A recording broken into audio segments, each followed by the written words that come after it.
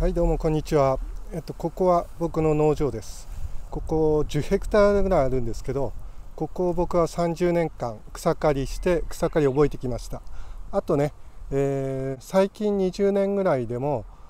延べ10人ぐらいの人に草刈りのやり方を教えてきました。それでね、えー、そこその間に、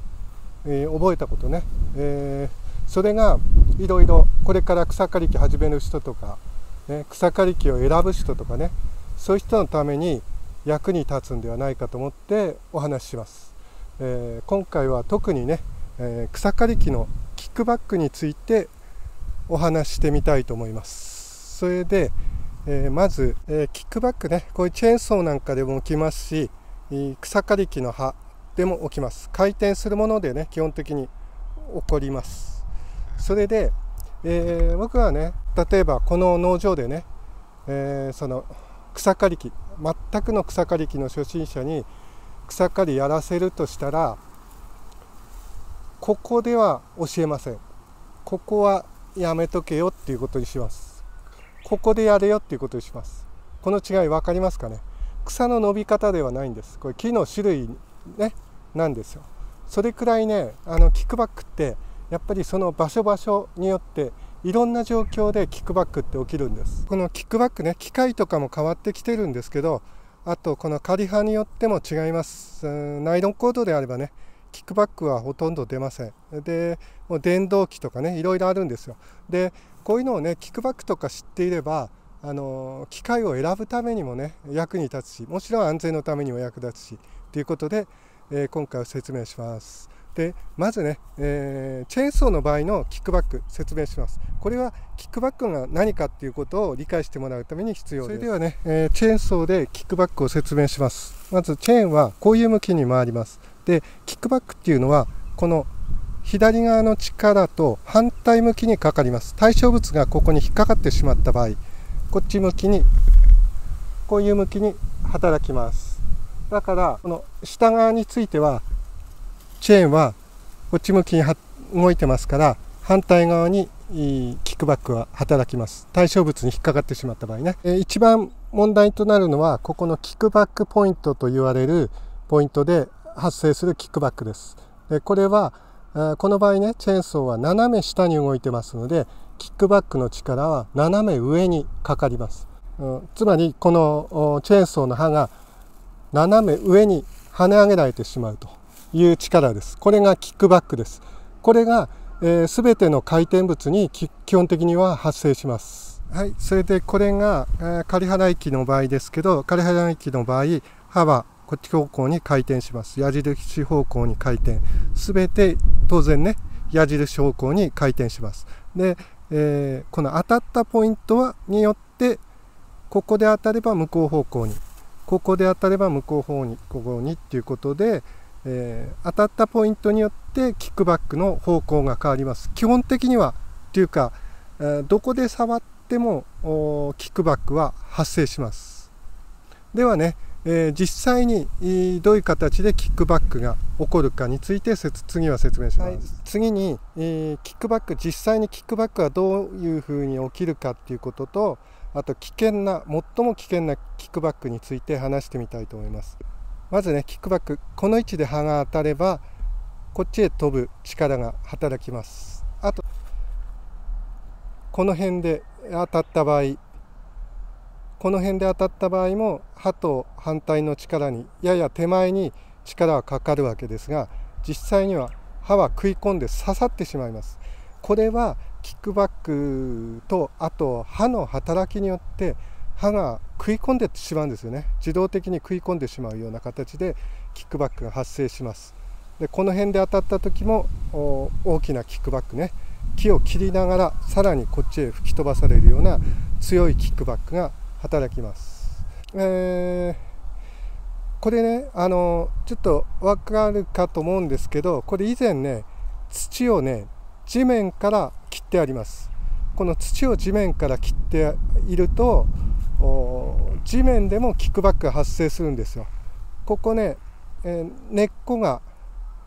根っこが露出してます。根っこが露出してますのでここで食い込みが発生してしまうんですよここでね食い込みが、えー、この今矢印のポイントで、えー、食い込みが発生してキックバックが発生しますでこの矢印と反対の方向にキックバックが働きますこれどうなるかっていうとこれ手前にガンとあの運転手っていうかこの作業者の方に機械が直線的に激しく動くわけです。でこれ今ね U 字ハンドルっていうのを使ってます。でこれでここに当たるわけです。これものすごく痛いです。あざになるぐらい痛いです。ただねこれあざになるとか痛いで済めばいいんですよ。これがもしツーグリップハンドルとかね、えー、ループハンドルであったらどうかっていうことです。これねこれ U 字ハンドルで物理的に制限されますけど足に届きかねないんですよもちろんこれね仮刃カバーなんかついていても全く仮刃カバーねこの場合役に立ちませんだから、えー、これね、えーえー、僕は初心者にループハンドルこれおすすめしません。だけど実際にはあのホームセンターなんかでもね、えーループハンドルとかの電動機とかハンドルの電動機とかあ売ってるんですよ。それでしかもこの、そういう安いバージョンの電気の草刈り機の場合の特徴はここがシャフトが短いんです。だからただでさえあのこの足にね届いてしまいやすい構造なんですよ。あのここがね押さえるものがないので、えー、非常に危険です。それでさらに、えー、あれですよね。あのもちろんそれはあのチップ層がつくタイプのね電動機であってもチップ層がつくタイプの仮払い機の場合です。だからあの電動機でね、えー、初心者向けに見えるものでも実際は危ない機械があるんですよ。であまりねそれが販売店で説明されていなかったりするとだからあの電動機でループハンドルしかもシャフトが短いっていう場合には必ずと樹脂波ナイロンコード専用機っていうのもありますので専用機を買った方がいいですでもう一つね専用機の大きなメリットっていうのは刃が逆回転のがあるんですよ。で服がね汚れません。非常にやりやすいです。こういうチップ層とかでと同じ使い方をすればあの服が汚れないようになってんです。あ、ま、飛散物が自分の方へ飛びにくい。そういう構造なんです。あの逆回転というのはね。だからあその短いシャフトのは気をつけると。あとねホームセンターで売ってるのなんか非常に危険だと思うんですけどこの下に物が落ちている時ね電動機このグリップを握ったまま回したまま下のものを拾ってしまうとかそれで事故にな落ちてるものを拾ってね事故になってしまうっていうことあるらしいんですよ。だからそういうのもねやっぱりシャフトが長ければ防げると思うんです。あと一つはねあとやはり電動機だから安全だとかそんなことは全くないです。使い方を間違えば非常に危険です。特にねチップ層チップ層はあ危険です。だからあ初心者向けのねホームセンターで買うような小さめの仮払い機であれば僕はナイロンコードあと樹脂波専用っていうのをおすすめします。えっ、ー、とそれで次に、えー、そのキックバックの対策ですね。次にその対策なんですがここで木の根っこに当たることによって手前にキックバックが発生してしまいます。これの対策はどうしたらいいかって言ったらあ簡単なんです。これねハンドルの持ち方。まずね、えー、右手右手はあ普通に持ちます。普通に持つしかやりようがありません。で、えー、次に左手。左手僕はこういうふうに持ちます。これねここツルツルになってんですよ。あのいつもこういうふうに持つんで。普通はここを持ちます。でここを持つのはどうしてかっていうとこう持つとで右手は通常通り持つと刃の左側が下がるんですよ。で刃の左側が下がるとこの右側が浮き上がって刃の右側でキックバックが起きません。で起こるとすれば刃の左側でキックバックが起きます。起こるとすればですけどね刃の左側でもしキックバックが起きた場合向こう向きに力がかかりますけど実際には浮き上がってしまうんですよね。向こう側に引っ張られると肩でつってますので、えー、対象物に食い込んだものが外れてしまうので強いキックバックは発生しません。まあほとんど感じないと思いますキックバックはね。だから左側を下げて草を刈ると。これはあの草をね地面ごと刈る時ですね。こう刈るとおね、こう根元の草が生えにくくなるんでこういう刈り方をするんですけど、まあ、下に根っこが張り出しているようなところであればこういう刈り方をすると。そういうことで、えー、キックバックが防げます。こういう場所じゃなくてもね普段から左側を下げ気味にすることで、え根っこに見えない根っこにもね対応できるわけです。それで僕が最初に言ったこっち側でやらない初心者に